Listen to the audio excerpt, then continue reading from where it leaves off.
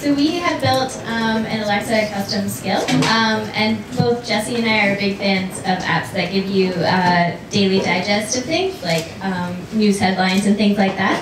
So we wanted to build an app that did that for stargazers. Um, so Alexa gives you a quick report on um, the weather conditions for the night, uh, cloud coverage, any um, star or planetary activity uh, that's happening, um, and also how close the International Space Station is to you um. Um, yeah, so I'm going to go ahead and do the demo for Alexa, um, but we also built uh, an iOS and Android app to go with it. So while she is talking, uh, Jesse's going to show you that.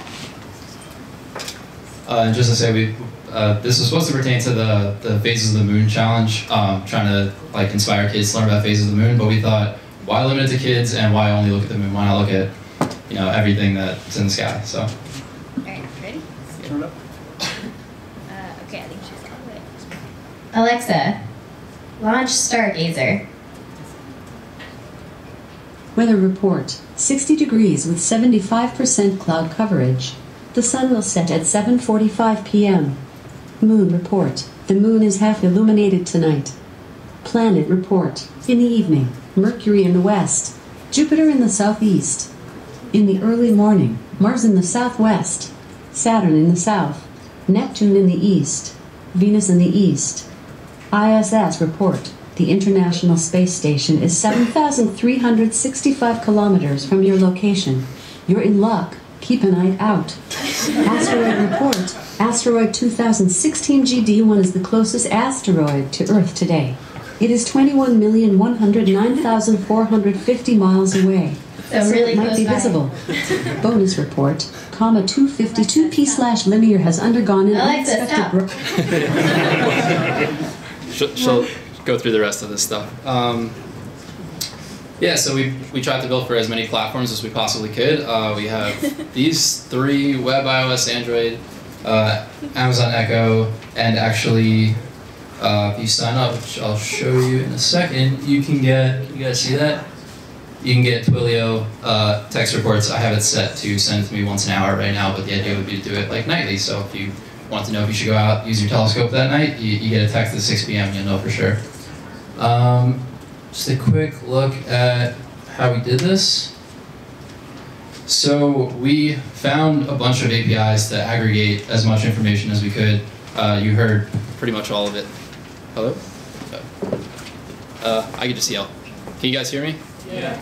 Uh, yeah, so we tried to aggregate as much information as possible.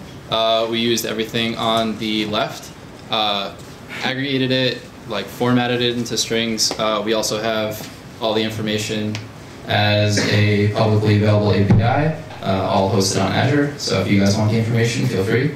Um, so we put it in Azure, and then yeah, you know, Amazon can hit it, iOS can hit it, anyone can hit it. Uh, and on the website, sorry, this one, you actually can enter your number. This is not my number. I don't call this poor soul. and that just sent me a text with that number so I can add it to the back end and send you the daily reports if you want them. Uh, I don't think so. Okay, I was just going to add that um, Jesse built the iOS app last night with React Native, um, and that it's also the Android app as well. Uh, and then it took him like 25 minutes to transfer that to the, um, the web app, which is pretty cool with just regular React. Yeah, for any front end nerds, it was really cool to uh, have like all three of these be done kind of at the same time. So uh, I think that's it, right? Yeah, that's Cool. it. Do we have any questions? Yeah, it's like, Yes.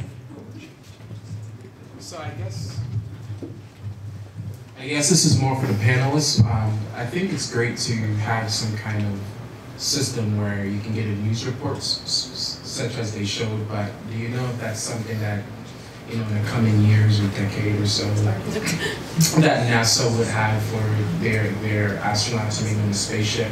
If, if maybe if it's a security issue, maybe just where civilians can like have a radio station where they can kind of feed info. There's a NASA TV station. Right. Isn't? Yeah, I mean, NASA TV does like NASA TV does live streaming from the International Space Station. Is that the kind of Well, interesting? it's more like Earth to space rather than Like anybody contacting the International Space Station?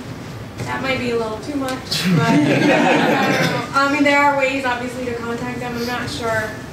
Like, you're talking about Earth to space station Right. messages, right? Yeah, so Yeah. it's like have a radio station where they can listen in to Earth feeds in a sense. I'm sure they have it through NASA. I don't know about like publicly operated ones. I don't, I don't know about that.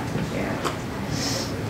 I had a quick question. Sure. Um, The information that you're presenting, is that location specific and what kind of uh, uh, reach do you have for that? Oh, absolutely. Sure. Yeah. So.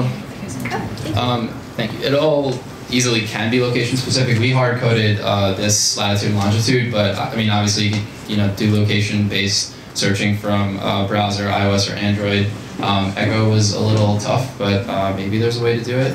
Um, yeah, so it, it can be. This isn't specifically. Oh, and on the information itself. Um, so like four of them are specific to your latitude and longitude, and one of them is just if you're in, I think, the northern hemisphere, then it pertains to you. So uh, most of it is yeah, specific to your information. Thank you. Yep. Thank you guys, very cool.